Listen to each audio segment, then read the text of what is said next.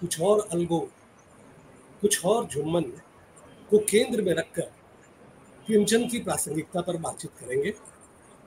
हमारे साथ बातचीत के लिए आमंत्रित हैं डॉक्टर प्रेम तिवारी। डॉक्टर प्रेम तिवारी वरिष्ठ आलोचक हैं। कथा साहित्य में उनकी विशेष दिलचस्पी है, खासकर ग्रामीण कहानियों में। डॉक्टर प्रेम तिवारी दिल्ली विश्वविद्यालय के दयाल सिंह कॉलेज में एसोसिएट प्रोफेसर हैं और जनवादी लेखक सिंह दिल्ली के सचिव हैं। तो प्रेम जी मैं आपका भी बहुत बहुत स्वागत करता हूँ। जी शुक्रिया। जी तो प्रेम जी हम आपने हमारी किताब कुछ और अलगू कुछ और जुम्मन देखी होगी। तो उसी को केंद्र में रखकर प्रेमचंद पर बातचीत हम करेंगे। तो क्या आपको लगता है कि आज जिस तरह से संस्कृति और राष्ट्र, राष्ट्रवाद, इन सबको एक खास तरह से परिभाषित किया जा रहा है? ऐसे में क्या प्रेमचंद की प्रासंगिकता और बढ़ गई है? जी, बिल्कुल आप का सवाल वाजिब है आप, आज के संदर्भ में। देखिए, मेरा मानना है कि जब तक राष्ट्रवाद को धर्म और संस्कृति के उस तथा कथित देशभक्ति के रूप में प्रकट किया जाता रहेगा, जिसमें एक दूसरे के प्रति नफरत और घृणा के जहर के सिवा और कुछ नहीं होता। तब तक प्रेमचंद की प्रासंगिकता बनी रहेगी। तो जो राष्ट्रवाद नए ढंग से आज परिभाषित किया जा रहा है वो राष्ट्रवाद नहीं है, बल्कि राष्ट्रवाद का विलोम एक तरह से है वह। जिस समय में, जिस दौर में राष्ट्रवाद की ज़रूरत थी, उस समय भारतेंद्र हरिश्चंद ने एक निबंध लिखा, उसमें कहा कि हिंदू, मुसलमान, सिख, ईसाई सब मिलकर एक दूसरे का हाथ पकड़ो, इन अमीरों का मुँह मत देखो। तो भारतेंदु के समय में जो राष्ट्रवाद था, उसके सामने चुनौती थी साम्राज्यवाद। तो साम्राज्यवादी शक्ति से लड़ने के लिए, अंग्रेज़ी हुकूमत से लड़ने के लिए एक राष्ट्रवाद की ज़रूरत थी। सबको एकजुट करने की ज़रूरत थी। मेरा मानना है कि आज कौन सी वो शक्ति है जिससे लड़ने के लिए इस तरह के राष्ट्रवाद की ज़रूरत आन पड़ी? कौन है जिससे हमें लड़ना है और राष्ट्रवाद का हम नाम ले रहे हैं? और राष्ट्रवाद में भी हम सबको एक साथ जोड़ने का नहीं, बल्कि आज जिस राष्ट्रवाद को नए ढंग से परिभाषित किया जा रहा है, उसमें तो सिर्फ़ एक ही धर्म को, हिंदू को और हिंदू राष्ट्रवाद की बात की जा रही है। तो जब ऐसी परिस्थितियाँ जब जब आएँगी, तब तब प्रेमचंद हमारे लिए प्रासंगिक हो उठेंगे। देखिए, प्रेमचंद ने लिखा है और आपने भूमिका में भी इस पुस्तक की, इस बात का ज़िक्र किया है कि प्रेमचंद ने लिखा था कि सांप्रदायिकता सदैव संस्कृति की दुहाई दिया करती है। उसे अपने असली रूप में निकलने में शायद लज्जा आती है। तो हम जान सकते हैं कि किस तरह आज के माहौल में फिर से संस्कृति का खोल ओढ़कर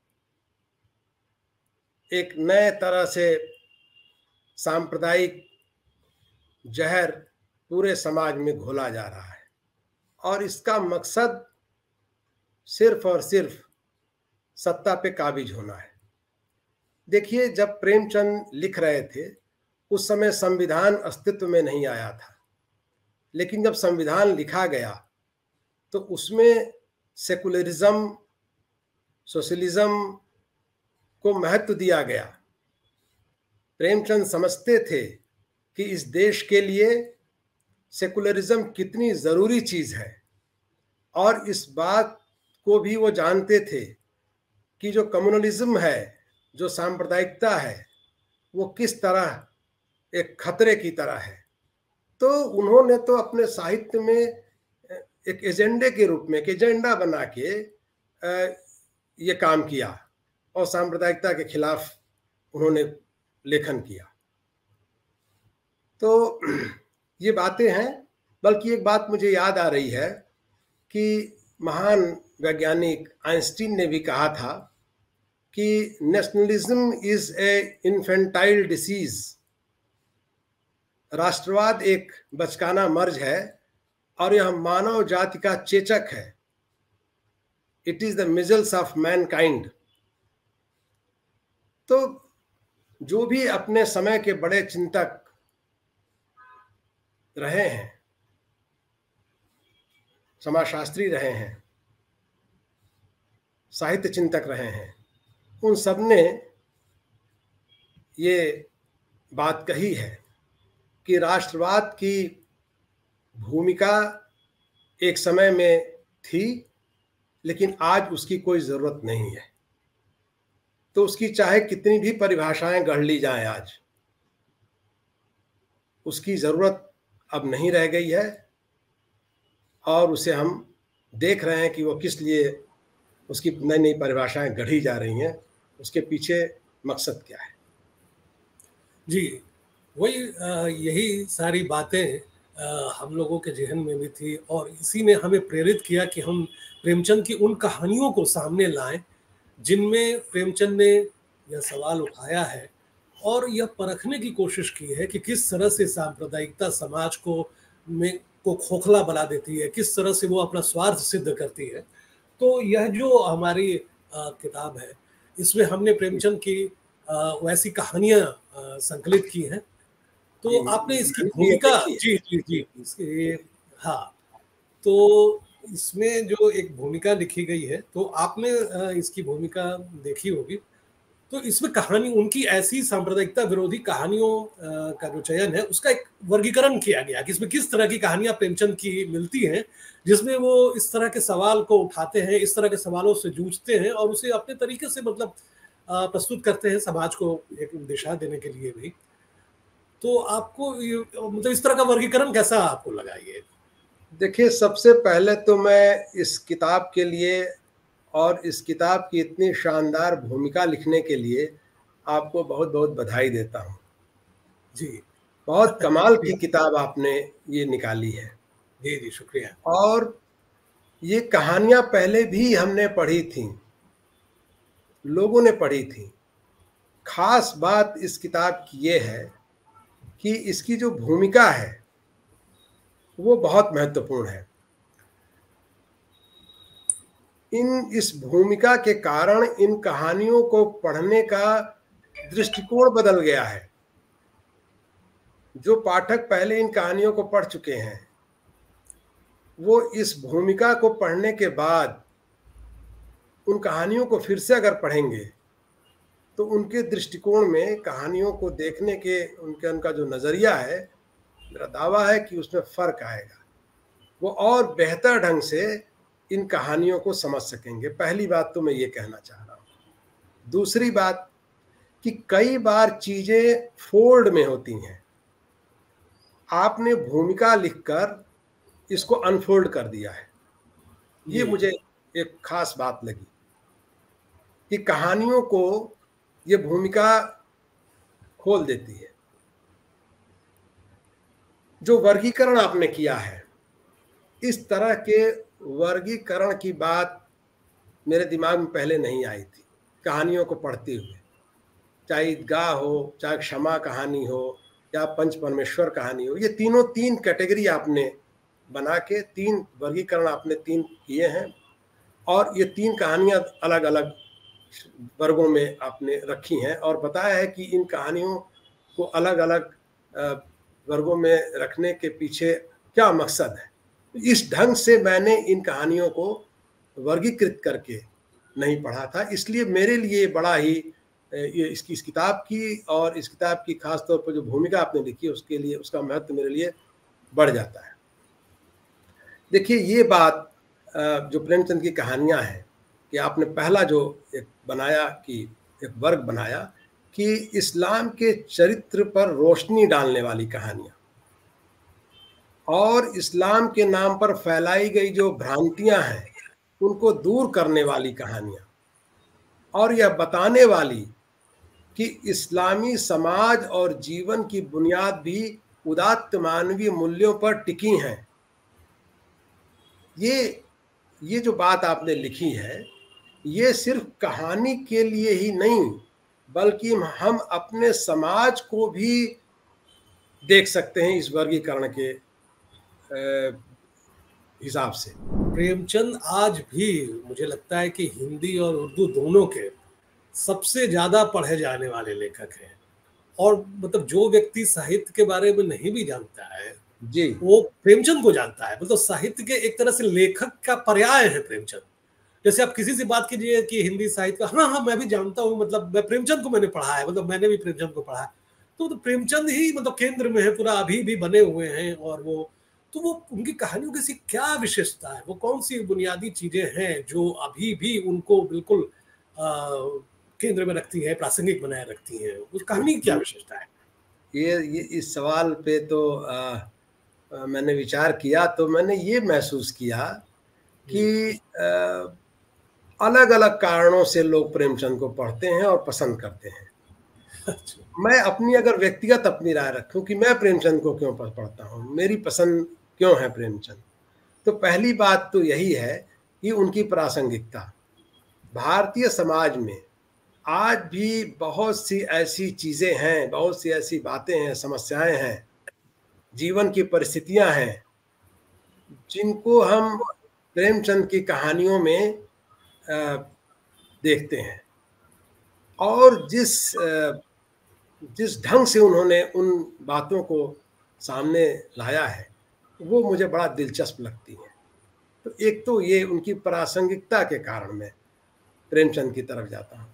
दूसरी बात जो खास तौर पे मुझे आकर्षित करती है, वो है कि भाषा का जो प्रयोग किया प्रेमचंद ने, वो बिल्कुल आम बोलचाल सामान्य सहज भाषा उनकी कहानियों में दिखाई देती है। कहीं कोई ऐसा शब्द या कोई ऐसा वाक्य नहीं आए, मिलेगा कि उसको पढ़ के समझने के लिए हमें थोड़ी मशक्क़त करनी पड़ी। और हमारे जीवन में, हमारे समाज में, हमारे आसपास घरों में, बाहर जो मुहावरे बोले जाते हैं, जो मुहावरों का प्रयोग किया जाता है, उसका खूब प्रयोग किया। मैं देख रहा हूँ कि आज के कथाकारों के यहाँ मुहावरे नहीं आते हैं। प्रेमचंद लिखते थे तो मुहावरों में बातें कहते थे। शब्दों की बचत होती थी इससे। कम वाक्यों में ही बहुत सी बातें कह जाते थे और वो मुहावरों के कारण बातें लंबे समय तक याद रह जाती थी। लेकिन ये, इसको क्या कहें कि एक तरफ़ प्रेमचंद सबसे ज़्यादा पढ़े जाने वाले लेखक हैं, इतने प्रासंगिक हैं लेकिन एक बड़ा तबका अक्सर उन पर सवाल उठाते रहता है और बीच बीच में इधर आप देखिए कि उनको खारिज करने की भी कोशिश खूब चलती रहती है। जी, और तरह तरह के तर्क दिए जाते हैं। तो आप इसको किस तरह से देखते हैं कि क्या प्रेमचंद का जो विरोध एक जो होता है इसके पीछे क्या मतलब है क्या मंशा रह, रहती है प्रेम प्रेमचंद की सबसे बड़ी ताकत यही है कि प्रेमचंद को खारिज करने की कोशिशें लगातार हो रही हैं। ये ताकत है प्रेमचंद की। ताकत इस रूप में है कि प्रेमचंद के पूरे लेखन को उठा के देख लें आप। उसमें साम्राज्यवाद, पूंजीवाद, सामंतवाद को लेकर जितना लेखन प्रेमचंद ने किया था, किया है, उतना मुझे समझ मैं समझता हूँ कि उस दौर में उसके बाद भी लोगों ने नहीं किया। और क्या आज सा, आज सामंतवाद और पूंजीवाद और साम्राज्यवाद की समस्याएँ क्या हल की जा चुकी हैं? नहीं की जा चुकी हैं। तो जो लोग झंडा उठाए हुए हैं साम्राज्यवाद पूंजीवाद और सामंतवाद का उनके तो रास्ते में रोड़ा बने हुए हैं प्रेमचंद। अब वो उसे खारिज करने की कोशिश करते हैं। और प्रेमचंद को खारिज करने की कोशिशें चाहे कितनी भी होती रहें प्रेमचंद खारिज होने वाले लेखक नहीं हैं। जब जब उन्हें खारिज करने की कोशिशें की जाएँगी, तब तक उनका महत्व और बढ़ता जाएगा। क्योंकि जब तक हमारे समाज में ये जो जो पैसे का राज है, आपने अपनी भूमिका में भी इस बात को हाईलाइट किया है कि जो पैसे का राज है, जो पूंजीवाद है, उस पूंजीवाद ने जो शोषण किया है, जो असमानता पैदा की है सामंतवाद ने जिस तरह अंधविश्वास पैदा किया है, धर्म का जिस तरह से चरित्र हमारे समाज में, ये सारी बातें जो है प्रेमचंद के साहित्य में है। और ये सारे लोग उनके पीछे हैं, कि उनको खारिज करने की कोशिश कर रहे हैं। तो मैं तो ये बार बार कहता हूँ कि प्रेमचंद की प्रासंगिकता, चाहे कितनी भी उन्हें खारिज करने की कोशिश की जाए, वो खत्म होने वाली नहीं है। लेकिन कई बार मतलब जो गंभीर लेखक हैं जो आज लिख रहे हैं जिनके जिनकी एक पहचान है वो भी इसको लेकर के प्रेमचंद पर सवाल उठाते रहते हैं कि कब तक हम प्रेमचंद को ढोएँगे क्या ज़रूरत है उनको ढोने की? इस तरह की बातें वो करते रहते हैं कि उसका तो सीधा कारण यह है कि प्रेमचंद इतने बड़े लेखक हैं और वो केवल हिंदी साहित्य के नहीं भारतीय नहीं वो विश्व साहित्य में उनका एक स्थान है। तो जो लेखक लिख रहे हैं, उन्हें लगता है कि प्रेमचंद को पढ़ने वाला जो इतना बड़ा समाज है, वो बाकी लेखकों की तरफ़ ध्यान नहीं देता है। तो उनके भीतर एक ये भाव जगता है कि अगर प्रेमचंद को हम हटा दें तो हमें पढ़ने के लिए और हमारी रचनाएँ भी उसी तरह से प्रसिद्ध होंगी जिस तरह से प्रेमचंद की हैं। लेकिन ये तो तब होगा ना जब प्रेमचंद जैसे लिखा जाए, उनके तो एजेंडे पर चीज़ें एकदम साफ़ रहती थी। कोई उपन्यास उठा, आप देखिए, कर्मभूमि दिल्ली विश्वविद्यालय में पढ़ाया जाता है कर्मभूमि। कर्मभूमि में देख लीजिए, धर्म के बारे में किस तरह से लिखते हैं वो वो सांप्रदायिकता के बारे में किस तरह से लिखते हैं। सारी बातें उसमें जिस तरह से आती हैं बार बार आती हैं बार बार लिखते हैं। ऐसा नहीं कि एक उपन्यास में या एक कहानी में उन्होंने एक मसले को उठाया तो दूसरी कहानी उपन्यास में उसको छोड़ दें। बार बार उस मसले को उठाते हैं। तो जो जो लेखक उनको खारिज छोटी मोटी देखिए अंतर्विरोध होते हैं लेखकों में। तो छोटे मोटे अंतर्विरोध प्रेमचंद में भी थे। उन बातों को हाईलाइट करके, उन बातों को, उन बातों पर पर्दा डालना, जिनके कारण प्रेमचंद को पढ़ा जाना चाहिए, मैं नहीं समझता हूँ कि ये उचित है। तो ये ये ये कारण ये, बिल्कुल ये आप सही कह रहे हैं एक बात आपने एक सवाल जो मैंने उठाया है अपनी भूमिका में वो ये है कि प्रेमचंद हिंदू मुस्लिम सहजीवन जो रहा है हमारे हम्म। समाज में गाँवों में खासतौर से तो हम्म। उसको वो अपनी कहानियों में उठाते हैं उनका जो आपसी संबंध है उनका रोज का उठना बैठना सुख दुख में एक दूसरे के साथ होना छोटे मोटे झगड़े होना फिर मिलना फिर मतलब वो एक साथ उनका जीवन है। तो इसकी वजह कुछ लोग यह बताते हैं कि उनका परिचय था, समाज में वो घुले मिले थे। धीरे धीरे क्या हिंदी साहित्य में इस तरह की शिकायतें भी हुई हैं? इस तरह की शिकायत वो करते हैं कि आज मुस्लिम पात्र कम हो गए हैं, मुस्लिम पात्र नहीं आते हैं, हिंदू मुस्लिम सहजीवन उस तरह से अब नहीं आता है। तो धीरे धीरे प्रेमचंद के बाद उतना ज़्यादा उस व्यापक स्तर पर हिंदू मुस्लिम सहजीवन नहीं दिखाई पड़ता है। तो क्या आपको ऐसा लगता है, क्या ऐसी शिकायत वाजिब है क्या? और अगर है तो इसकी क्या वजह हो सकती है? क्या मुस्लिम पात्र सचमुच गायब हो गए हैं आज के कथा साहित्य से, या यह शिकायत सही नहीं है? क्या आपको क्या लगता है इस बारे में? बहुत ही महत्वपूर्ण आपने सवाल उठाया है। और इसका जवाब मैं कितना दे पाऊँगा। लेकिन संजय जी, मुझे ये लगता है कि प्रेमचंद का जो समय था वो आज के समय से थोड़ा अलग था। आज समय जो है ज़्यादा जटिल हो गया है। और प्रेमचंद और उसके बाद जो सांप्रदायिकता की राजनीति है उस राजनीति ने भी बहुत जहर घोला है जिसके कारण खेमे बट गए हैं। अब बिल्कुल अलग अलग हो गए हैं, मोहल्ले बन गए हैं, उन मोहल्लों में अलग अलग तरह के तो ये जो समाज में चीज़ें हुई हैं, जो घटनाएँ हुई हैं, आप देख लीजिए जो पिछले दिनों जो दंगे हुए, क्या उसका असर साहित्य पे नहीं पड़ेगा? समाज पे पड़ा है, साहित्य पे पड़ा है, राजनीति पे पड़ा है, अर्थव्यवस्था पे, सारी चीज़ों पे उसका असर पड़ा है। तो ज़ाहिर है कि प्रेमचंद के ज़माने में जितना आवाजाही थी उनके नावल में देख लीजिए, कर्मभूमि में ही जो मुख्य करेक्टर है, वो प्रेम करता है एक मुस्लिम लड़की से। बहुत गरीब है, उससे प्रेम करता है। और उसका दोस्त, जो मुस्लिम दोस्त है, वो कहता है कि, ये मत करो, नहीं तो भूचाल आ जाएगा। तो संभावना उस जमाने में भी थी, लेकिन रिश्ते थे। वो रिश्ते धीरे धीरे जो तार थे, जो जुड़ाव था, जो ताना बाना था, उसको सांप्रदायिकता ने काफ़ी तोड़ दिया है। एक तो ये कारण है। दूसरा कारण ये है कि ये जो नया जो दौर है, इसमें स्त्री, दलित, आदिवासी विमर्श जो साहित्य में आया, उसने एक नए नए तरह का एक जो साहित्य लिखा जा रहा है, उसमें ये बातें पीछे चली गई। सांप्रदायिकता की या हिंदू मुस्लिम जो समाज के भीतर हिंदू मुस्लिम के जो रिश्ते थे इन रिश्तों की कहानियों पर ध्यान कम गया। बनस्बत इसके कि ज़्यादातर कहानियाँ स्त्री, शोषण, उत्पीड़न या और दलित और आदिवासियों को केंद्र में रख के लिखी है। मैं दिल्ली विश्वविद्यालय में हूँ, बहुत से विद्यार्थी शोध के संदर्भ में भी मिलते हैं। तो पता चलता है कि ज़्यादातर शोध भी दलित, स्त्री और आदिवासी जो उपन्यास और कहानियाँ लिखी गई हैं, उन्हीं पर हो रहे हैं। सांप्रदायिकता या हिंदू मुस्लिम जो रिश्ते हैं कहानियों में या उपन्यासों में, उस पर बहुत काम नहीं हुआ है, नहीं हो रहा है। विद्यार्थी भी उधर नहीं जा रहे हैं करने के लिए। एक कारण ये भी है। तो